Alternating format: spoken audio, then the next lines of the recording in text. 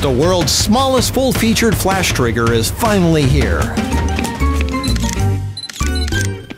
You guys know how I just love and I'm obsessed with and keep looking for the smallest, most lightweight camera stuff possible.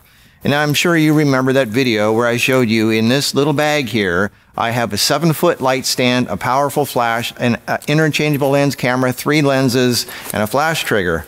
I'll put a link down below for that, but I'll show you again real quick because I want to show you a missing piece to that. Here's the seven foot light stand.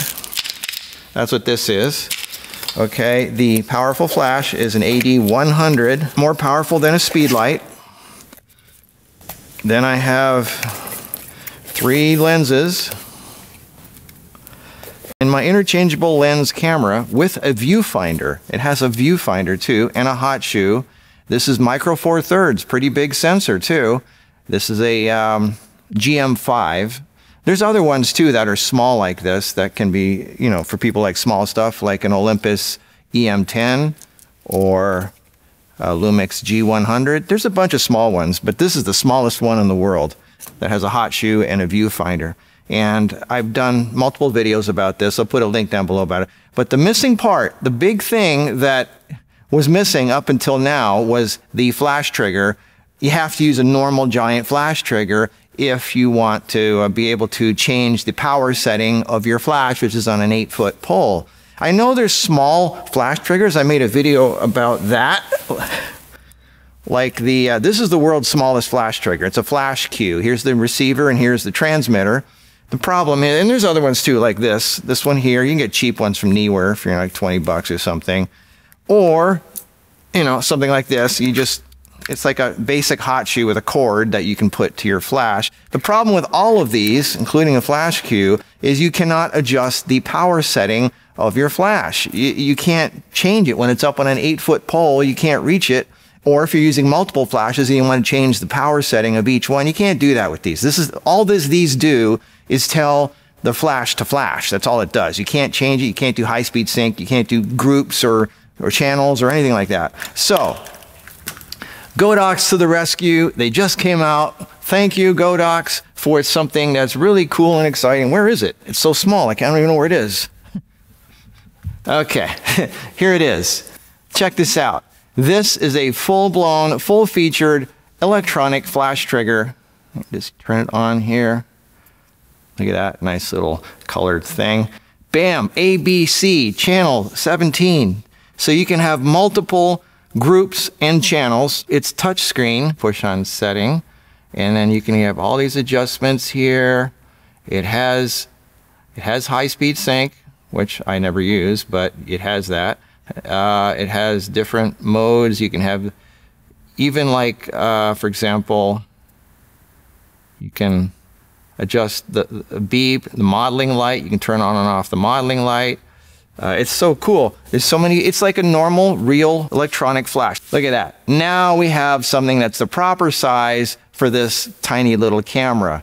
This is the real thing. This is the, this isn't like a little wannabe flash trigger. This is a real flash trigger. And it's with, I mean, for little cameras like this, this is perfect. Anybody who likes small cameras that has a hot shoe, finally we have something that's not a full size, ridiculous flash trigger. Let's say you want to change the power setting of flash A. You click on that, and since it's a touch screen, you can change the value of the flash with the touch screen, or on the side here is a little knob right there. Look at this. You, you highlight the part you want to change, and you turn the knob. So look at that. I'm turning the knob, and you can change the value. And then if you want to switch to something else, you click it, go down to the next thing or they change the group. I don't think these are out yet. Godox contacted me, says, you know, the typical, you have a YouTube channel, we'd like you to promote our stuff. And I said, look, I, I don't want to do that because uh, I don't, I mean, I love Godox stuff. I said, but I don't want people to think I'm biased or anything. I said, but hey, I heard you're having a little flash trigger coming out. And I said, that's the only thing I'm really interested in. And so they, they sent me some. And uh, I was, they even sent me some earlier models of it. I don't think they're available yet. I don't know what they're going to cost. I don't know anything other than they're really cool and small and cute. Uh, I do have uh, three um, early models when they were still playing around with the design and stuff. I'm going to give these away. I'm going to give away. Um, now, if if you win one of these, you cannot uh, do a review on these ones because these are early models and they have a different name on the side. Uh, the, they, for legal reasons, you can't mention some of the things about this, but it's the same thing. This one's called an X3. That's what the, the final name is. These are prototype models. They're fully operational. They're fully functional. These are for Sony. Yeah, it's got an S on the side. So I'm going to give away three different uh, tiny flashes uh, for Sony, markuspix.giveawayenter.com. And uh, I'm so happy I finally have a small flash trigger for small cameras. By the way, the, this is my favorite lens for a small camera like this. It's the 14 2.5. It's really sharp. It's really good. I did a photo shoot with it. I'll put the link down below that we did in Palm Springs. Look at the proportions of this. Look at this little tiny camera with a little tiny flash trigger, little tiny lens, and it's perfect. Uh, and I've got this powerful flash all in this little bag that I carry with me. Seven foot light stand, all right here. That's pretty amazing. Oh, I, I guess some of you want proof that this thing actually works. So here we have this one at power of eight. I'm changing it. Look, look down here. You see that? Both of these, I'm changing that. And you can see it changing on the flash. Pretty cool. So let's let's see if it works here. Yep. Look at that.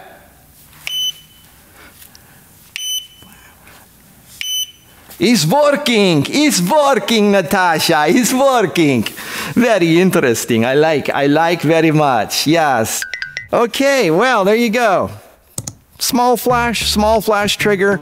Small lens, small camera, viewfinder, small light stand, small lenses. I am complete. Thank you. Let's go take some pictures.